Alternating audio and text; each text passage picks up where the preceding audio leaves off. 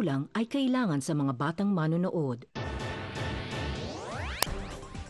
Biyernes ng gabi po ngayon mga kapatid at syempre kaninang madaling araw nagsimula na po ang Simbang Gabi. Ito po ang Juicy at magkakasama kami nila Icy Mendoza. Lagi-lagi direct, isang malaking karangalan. Direct Joey Javier Reyes. Isa rin karangalang maging nandiri. Naman. Ay, nako, nakakahinga na siya ng maluwag ngayon. Siya lala. Karangalan nyo, kasama nyo ako ngayon. At syempre, dead na kami sa'yo, ang aming princess. Alex Gonzaga ng PS I Love You. Of course, mahal ka namin. Merry Ikaw pa, Christmas. we cannot live without you. Merry Christmas. Okay. At ang Merry Christmas. Ba't ngayon ka lang bumate? Nang ganon. Feeling mo lang, last day mo na to. Po? Knock on wood, please. Tinaningan, Ay, tinaningan. Okay.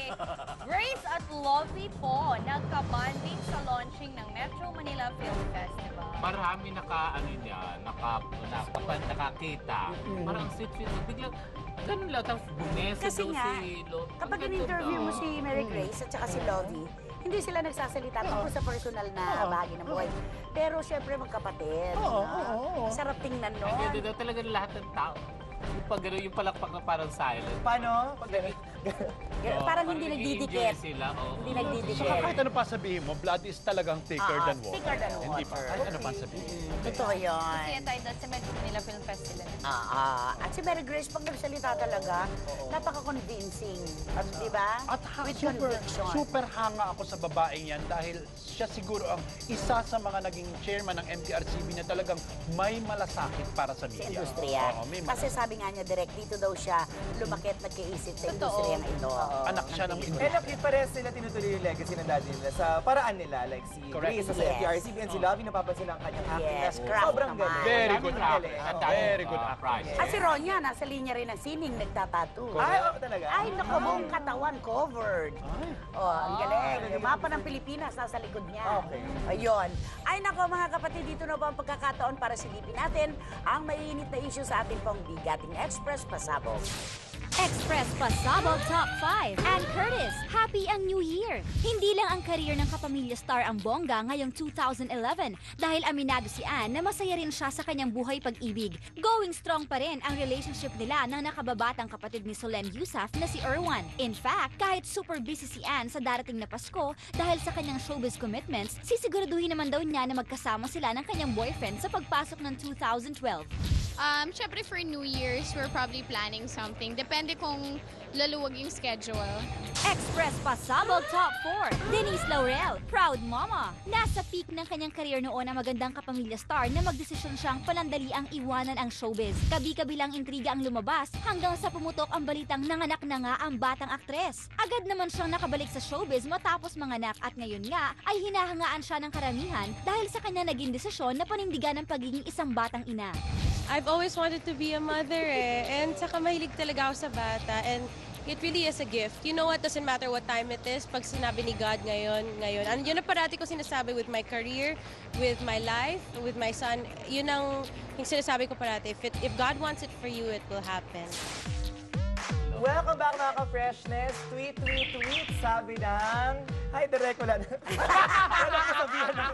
Siya pwede sabihan ng Ang taas ng respeto ko kay Direk. Lawin ito, lawin. Yes. At saka hindi kayo Okay, sagot lang. pwede. Tweet, tweet, tweet. ano, Direk, ikaw mismo magbasa nito. Oh. Anyway, eto nag-tweet si Paolo Bejone. Sabi Oy! niya, just came from a shoot where kids uh, bag cement instead of go to school to help their families put food on their table.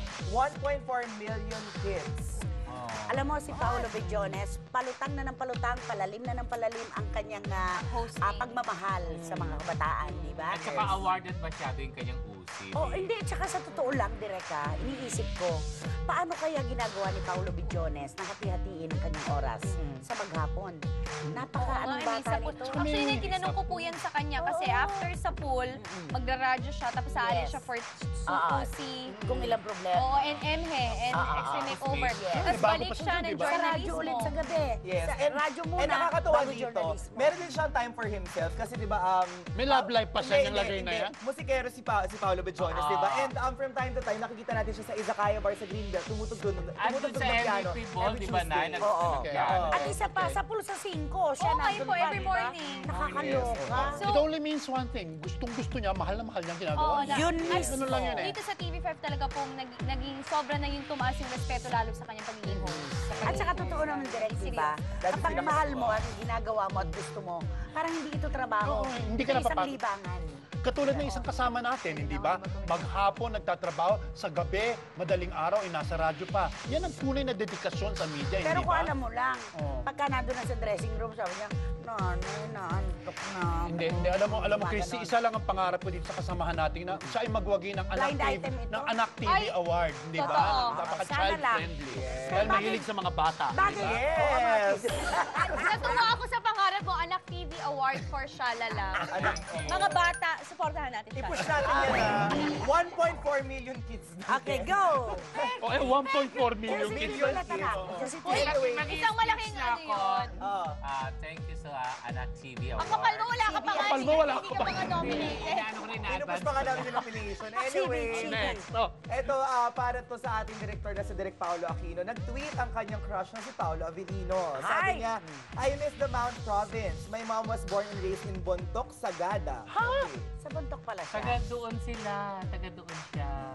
Sino nga yung namayapa na Si actor? Mark Si Mike Si Michelle. Mark Michelo. Yun sa Mountain Province yun. Oo.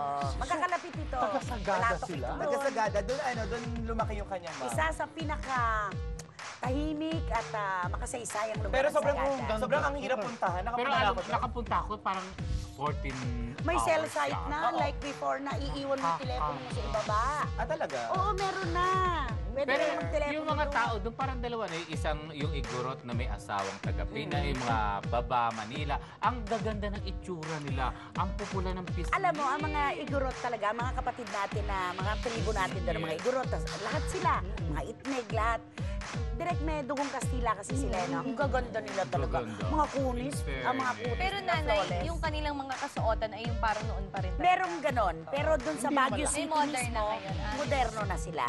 Pero Parang pagka mabi- Grand Canyaw, naka, Nakasuot sila. Parang mabibilang mo yun. Sagada. Pero kailangan mo na mag-stop over sa Baguio para hindi masyado toxic yung biyahe. Oo. Kasi tak-tak-tak-tak ang Oo. katawan mo, Oo. hindi Ang diretsuhin mo ang ganda-ganda na Sagada. Try niyo. Eto ang aking baon. Siyempre, ah, siyam na araw na lamang, siyam na tulog at gising na lamang ay Pasko na. At tayong lahat ay pinagdiriwang natin ang okasyon na ito sa buong mundo. Siyempre, dahil alam nga natin na ang pamilya Revilla ay nanggagaling sa isang matinding problema, ang tanong ng bayan ngayon, paano nila isa-celebrate ang Pasko? Nagkaroon ako ng pagkakataong makausap si Senator Bong Revilla noong isang gabi para sa Paparazzi Showbiz Exposed. Ayaw niya magsalita. Tama ka, Direk. May mga bagay na gusto mong sabihin na hindi mo maibuga. At sa ilalim nun, doon mo mararamdaman yung gustong-gustong gustong-gusto niyang ilabas pero hindi niya masabi dahil yung nga pinoproteksyonan, Oo nga na eh. iniingatan, di ba? Pero naluluha siya direct. Iniintindi niya yung daddy nila, si Tito Ramon. Di ba? Galing kasi sila syempre sa isang matinding problema. At ah, siya naman eh, sabi nga niya, sana makapag-move on kami na mas maaga. Nakakalungkot na direct. Ma-recover sila. Sana ma-resolve na ito. Maraming masasaktan either which way eh. Oo, dahil napakamasalimuot ng, ah, Totoo. ng sitwasyon. Pero sana matapos na para makamove on na mga tao. Yes. At ang dami ng pangalan ng Ang Isa dami na ang dami ang dami Ang. Nahawakan mo ba direct bilang artista si Ram Jen Revilla? Hindi, pero nakilala ko siya sa pamamagitan ng Facebook na minsan may message sa akin Oo, nagme-message. May may siya Oo, at saka minsan nakasalubong ko yan sa Alabang Town Center.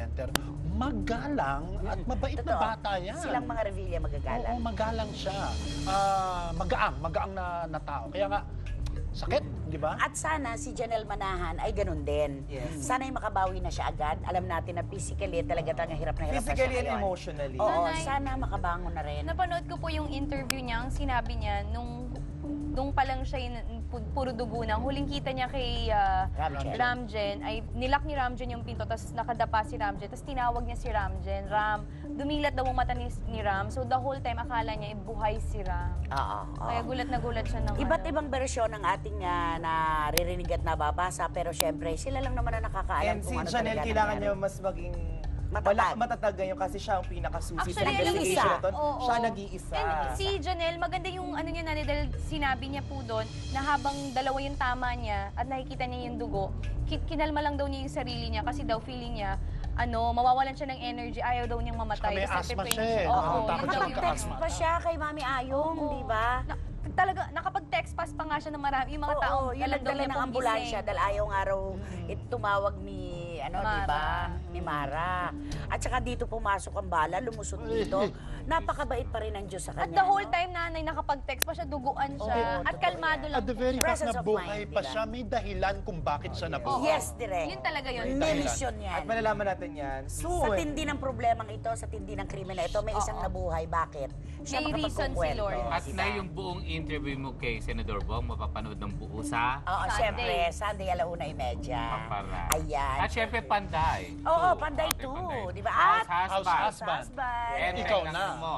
Oh, yes. Shake. Shake, rattle, Segunda roll. man of Direct Joy. Yesterday, Yesterday, today, tomorrow. Direct Oo. Junlana. Yes. Yes. Salonga. Okay. Yes. Kompleto na tayo. Nangangarap, maging number two. At ako, ang dami pa po namin chika at mga regalo dahil Ito ang huling hagupit ng chikahang hinihingi. Todo, todo ang hirit sa juicy!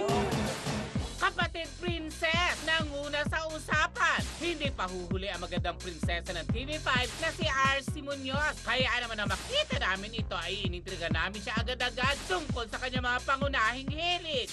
First showbiz crush local? Patrick Garcia. Sino yung naging first kiss mo? Victor Basa.